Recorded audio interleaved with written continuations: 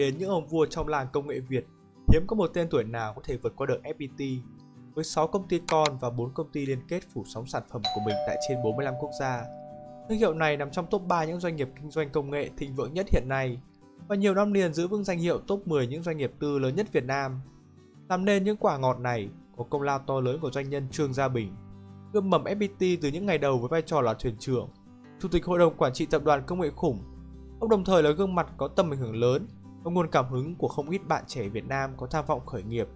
Trong video này, ta hãy cùng đầu tư SNK khám phá tiểu sử và những thông tin thú vị xoay quanh vị tỷ phú công nghệ này nhé. Ông Trương Gia Bình sinh ngày 19 tháng 5 năm 1956 tại Nghệ Tĩnh, Nghệ An. Quê quán tại Điện Phong, Điện Bàn, Quảng Nam, Đà Nẵng. Ông là con trai của bác sĩ Trương Gia Thọ, người từng đảm nhiệm vị trí giám đốc Sở Y tế Hà Nội.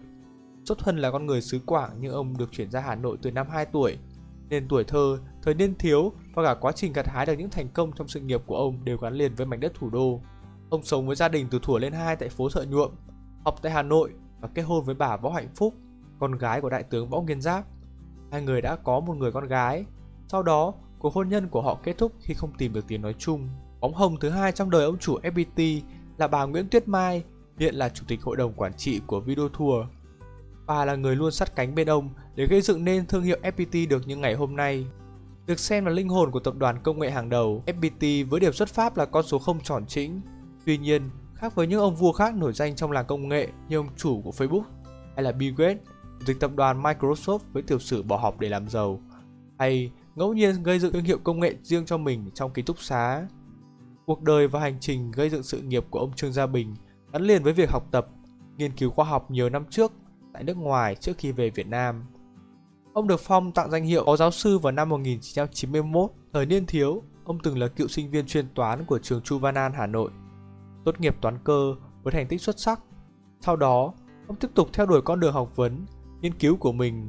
Ngót nghét 10 năm tại nước ngoài, năm 1979, ông Trương Gia Bình lấy bằng cử nhân toán tại Đại học Tổng hợp Lomonosov của Nga. Năm 1983, ông bảo vệ thành công luận án phó tiến sĩ tại Đại học Tổng hợp Moscow của Nga và bằng tiến sĩ toán lý tại Đại học Tổng hợp Lomonosov năm 1982. Khi ấy, ông 26 tuổi. Người thanh niên Trương Gia Bình quyết định quay trở lại Việt Nam. Ông công tác tại Viện Cơ học, Viện Khoa học Việt Nam. Ngọn lửa đam mê khoa học, nghiên cứu vẫn âm ỉ cháy trong người đàn ông ngoài 30 tuổi.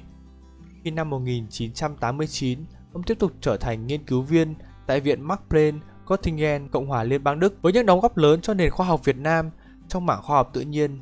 Ông được nhà nước phong danh hiệu Phó giáo sư tiến sĩ năm 1991, khi đó ông 35 tuổi. Bước sang tuổi 32, năm 1988 cũng là thời điểm mà đam mê kinh doanh được khơi dậy mãnh liệt từ trái tim của nhà khoa học Trương Gia Bình.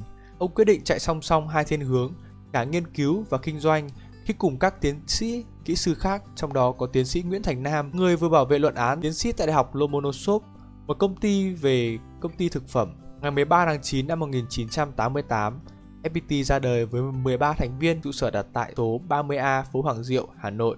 Lý do cho sự ra đời của đứa con tinh thần này được ông Bình chia sẻ khi gặp gỡ với đại diện báo Quảng Nam rằng Việt Nam là nước nông nghiệp và công nghệ thực phẩm chính là lĩnh vực có tiềm năng phát triển mạnh mẽ nhất.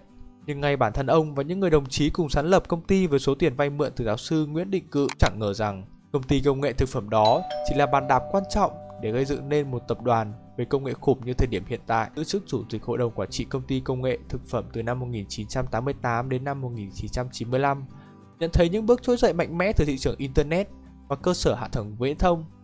Ông và các thành viên ban lãnh đạo công ty đã quyết định đầu tư mạnh cho các lĩnh vực công nghệ đến năm 2002 định hướng mảng thực phẩm của công ty đã chính thức khép lại và mở ra kỷ nguyên mới phát triển trong lĩnh vực viễn thông và công nghệ thông tin cho công ty mà ông Trương Gia Bình đang nắm giữ vị trí đầu tàu.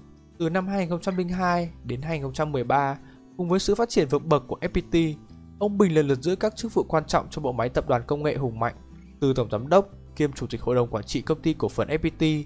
Ông đồng thời là chủ tịch của Hiệp hội Phần mềm và Dịch vụ Công nghệ Thông tin Việt Nam, đến chủ tịch Hiệp hội Doanh nghiệp trẻ Việt Nam đến năm 2017 ông Bình giữ chức trưởng ban kinh tế tư nhân thuộc Hội đồng Tư vấn Cải cách Thủ tục Hành chính. Tuyên bố trở thành tập đoàn công nghệ và thống lĩnh nhiều mảng khác của FPT, ông Bình lần lượt giữ những trọng trách quan trọng bậc nhất trong tập đoàn ở nhiều mảng. Từ năm 2017, ông Trương Gia Bình giữ chức Chủ tịch Hội đồng Quản trị Tập đoàn FPT, đầu tư vào giáo dục mạnh mẽ.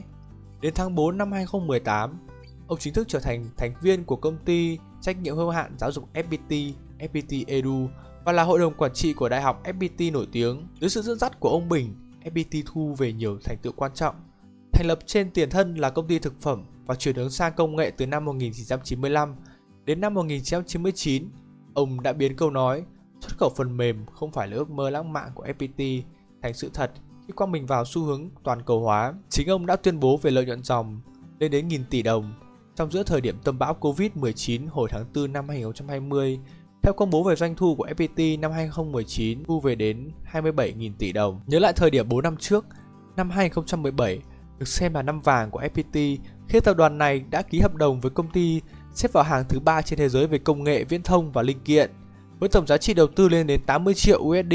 Xuất thân từ nhà khoa học đi làm doanh nhân, tầm nhìn, tài lãnh đạo của ông Trương Gia Bình được thể hiện qua sự lớn lên từng ngày của FPT. Từ con số 0 đến tập đoàn công nghệ hàng đầu Việt Nam, chính ông và những người cộng sự đã và đang khẳng định được rằng dù là một nước nông nghiệp, song công nghệ Việt Nam không hề kém cạnh bất kỳ một quốc gia nào.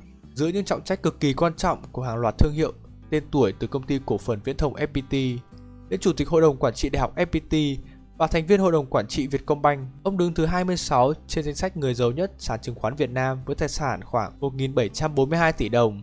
Tuy nhiên, với những thành tựu đáng ngưỡng mộ mà ông đã làm cho FPT cũng như số lượng tài sản to lớn đang nắm giữ, chúng ta không để tiếc lời khen cho vị tỷ phú, nhà khoa học, doanh nhân đại tài, người thuyền trưởng của FPT hiện tại.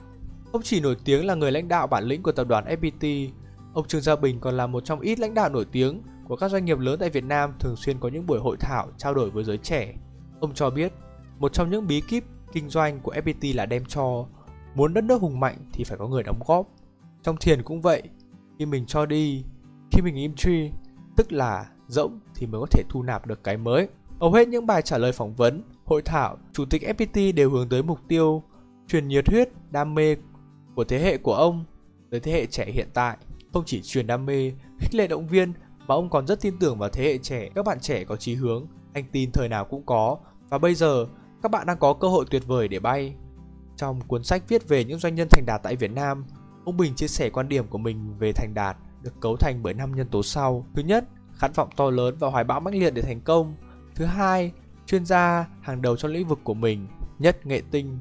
Thứ ba, có kiến thức xã hội rộng rãi, có lòng yêu nước nồng nàn. Thứ tư, có kỹ năng tối cần thiết để thành công. Thứ năm, có quan hệ hỗ trợ tốt, nhất thân vinh.